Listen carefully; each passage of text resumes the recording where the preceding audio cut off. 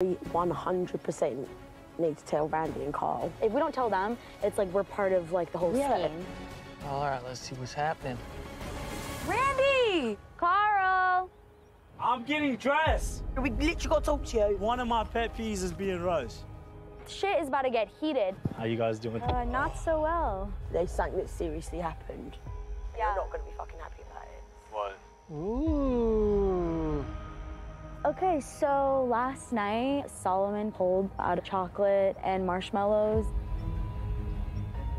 And he told me that their team stole from the supply drop and took like all the good stuff. What? Are you serious? What the fuck, bro? What the fuck? There was hoarding going on. Oh, monkey's out of the bottle now, bro. I could see it going south. I think that's our cue to get back into camp before things turn ugly.